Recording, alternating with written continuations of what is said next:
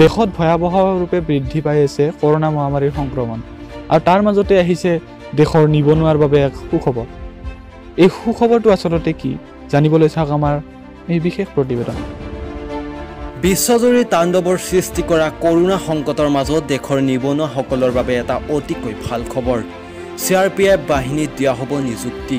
প্ৰায় সাতশ নব্বৈটা পদৰ নিযুক্তিৰ বাবে অহা বিছ জুলাই তাৰিখৰ পৰা একত্ৰিছ আগষ্ট দুহেজাৰ বিছৰ ভিতৰত ইচ্ছুক প্ৰাৰ্থীয়ে কৰিব পাৰিব আবেদন।